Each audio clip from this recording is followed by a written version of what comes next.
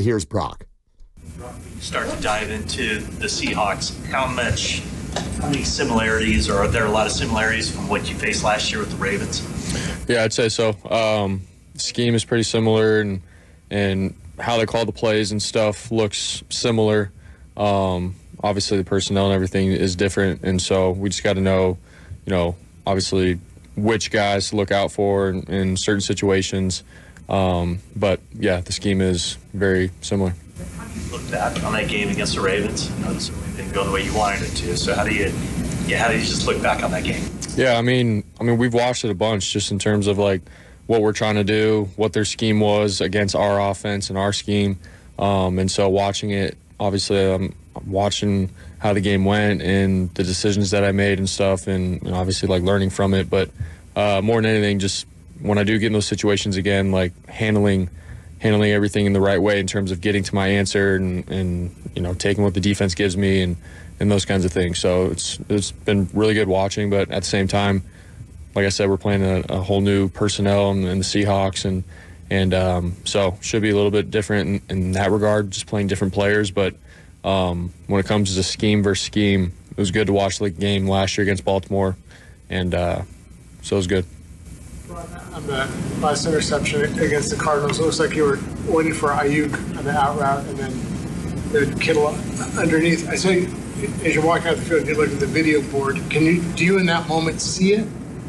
It looked like obviously you threw it and kind of grimaced. I mean, when you look at the video board, do you see like, oh, crap? Yeah, I mean, uh, I got hit, and so I'm like, all right, where, how did that happen with you know our protection that we had on and stuff? And we had two guys come to the side of of where our protection was set, and one guy was free, and so that's on me in terms of getting the ball out and not holding on to it. So um, in that situation, when I was walking off, looking at the video board, I was like, man, did I miss a guy, or did I just try to get to Aiyuk the whole time? and uh, not see what was going on with the blitz and stuff. So in that moment, that's what I was thinking about, and, and wish I would have executed it differently. Uh, the stats suggest that you're holding onto the ball longer than any other quarterback, and obviously your scrambles are you know, producing that number. But but does it feel different than 22 and 23 as far as um, you know just snap to release time for you? Um, I mean, I feel like there's just been some plays where I'm scrambling and stuff, just because like what the defense is doing in terms of dropping eight and giving us some different looks in that regard. So for me, it's more been about keeping a play alive and and uh, it's been good. And there's also been some plays, obviously, where you know we've had you know minus ten or, or whatever from trying to scramble around and stuff. So uh, there's I think those kinds of plays that pop up, so that maybe how that's um, affected the stats with that. But uh, for me, I still go about my progressions and everything just like I have the last couple years with our offense and our system. Um, you know, I'm not going into a game going, all right, I'm going to hold on to the ball longer here and try to make something happen. It's how can I how can I be efficient, help out the O line, get the ball out of my hands, and, and do my job. So, um, but this, the teams that we've played, the schemes that we've played, I guess they've done some of that where they're dropping more back in the zone and making me go through my progression. And turns out I'm holding on to the ball. So. It's that, Brock. Your play action is, is down this year from, from what's been in the past. Is that a function of that? When teams are dropping more, you don't want to turn your back because you need that extra time to go through progressions, or, or what, what do you kind of attribute that to? Uh, I don't know if that's the case. I would say, you know, um, you got to be running the ball really, really well and, and then setting up certain plays and stuff. And where we're at, um, I think we're running the ball really well, but I think within schemes and, and trying to win – with certain plays drawn up. Um, for us, it's just been drop back plays, and we trust in the guys to just be able to drop back and, and allow me to go through a progression and, and, and rip it to them. So, um, you know, we're not going into a game saying they're going to drop back a lot, so we're not we're going to stay away from the play action pass. We still have plays dialed up in the play action world, um, but we just haven't had opportunities to to run them in the in the right situations or whatnot. But again, we're trusting in Kyle within all the play calls with that regard, and and um, so that's just sort of just how the, the flow of the game has gone and the play calls have gone. So. Last year, last year, you guys were the number one team in the league in red zone touchdown percentage. This year, it's been more of a struggle. What does the film show? How, how would you evaluate what you guys have done in the red zone? Yeah, I think uh, we've had some opportunities, and I think that's an area for me to be better for sure. Uh, trust the plays, trust the concepts, trust my guys, and um, and being willing to go down there and rip it. I mean, like I said when I talked to you guys last time after the game, know the windows get tighter and, and the timing of it is is quicker and faster. So for me, it's about getting back into a rhythm down there and, and uh, giving my guys a chance. So um, that's probably the biggest thing that I've seen on film. After the game, you and Nick Bosa both said uh, that you need to get back to complementary football. What does that mean to you? Yeah, man, it's a it's a team sport. So for four quarters, um, you know, when the defense when the defense gets to stop for us as an offense, it's like all right, let's pick it up and, and go put points on the board, and, and vice versa. When we're rolling, defense get a stop, special teams do their thing. Uh, that's complementary football. That's how you win in this league. And uh, you know, if defense is getting all these stops and the offense is cold, I mean, I mean, it's pretty obvious to everybody that. Uh, it's going to be tough to, to get into a rhythm and, and pull away from a team, and then you allow a team to stay in the game and and those kinds of things. But the last couple years, when we've won um, pretty well, it's been about complementary football. Defense gets stops and turnovers, offense puts up points on the board, and we pull away. So um, we both believe in that, and everyone here knows that's the truth. It's early, but can this type of game galvanize you based on a little bit of a slow start and knowing what the schedule looks like with a couple of hard home games after this as well? This kind of game rally, you guys. Yeah, I mean, I think every game for us is extremely important. Um, obviously, you get through the end of the season, it's like where you at, wins and losses, and all kind of stuff going to the playoffs. So, I mean, everything matters. But for us, man, um, all that matters right now is Seattle Thursday night, uh, getting back into the win column and and uh, you know just picking up our momentum, man. I think the season is so much about momentum and and uh, obviously staying healthy and, and, getting ready for the next game. But for us, man, uh, it's one game at a time. We're not looking too far ahead in the future, and uh, whoever we get up on our schedule for the for the next game, that's who we got. But we're not looking too far into it, and we just got to win.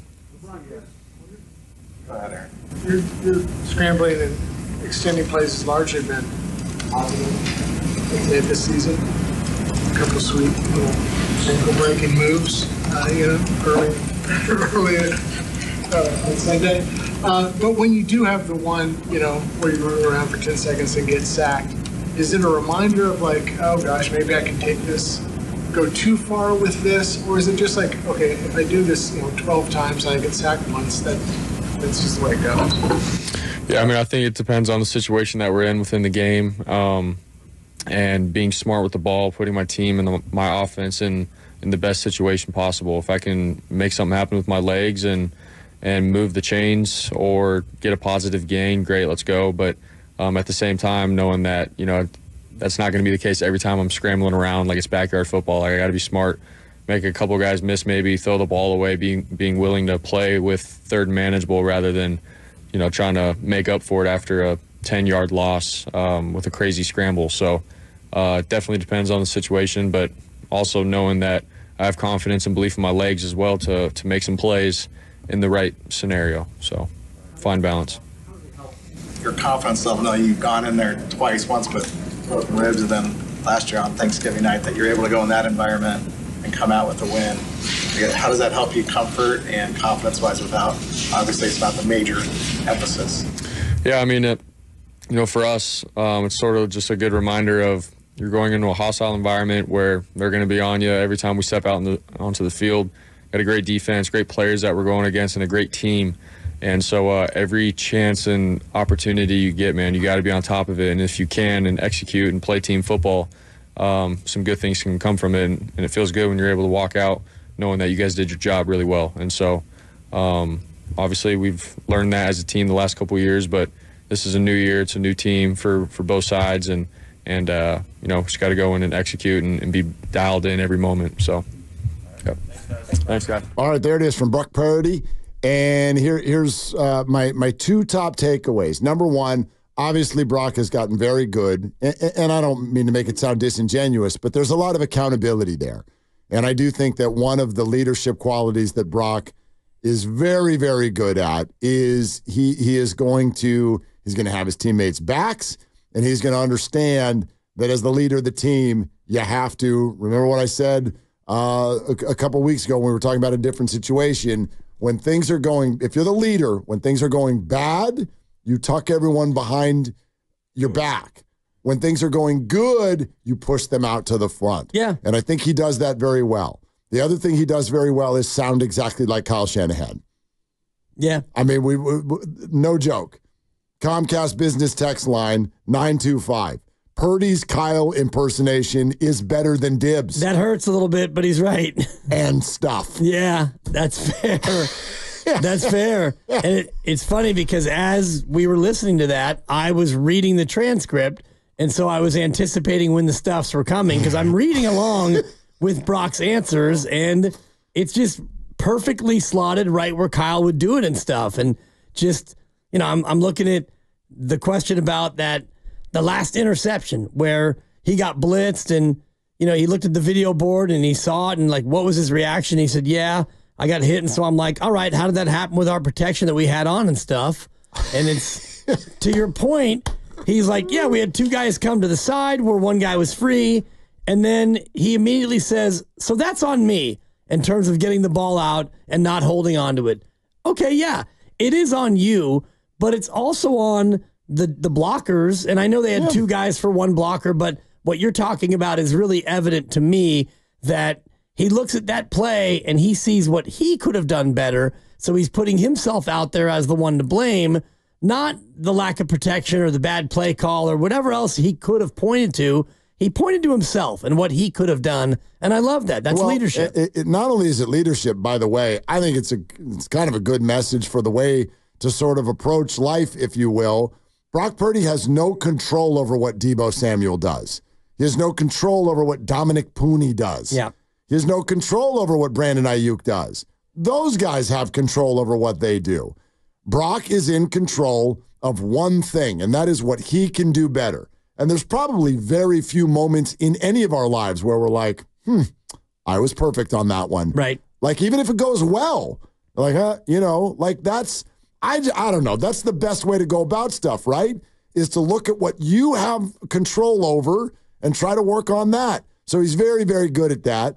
Um, I don't know if he's like the most uh, open player that we've ever seen in terms of sharing things that are going to actually give fans to chew on because he does handle it like that. But then again, that's what you want. That's what you want.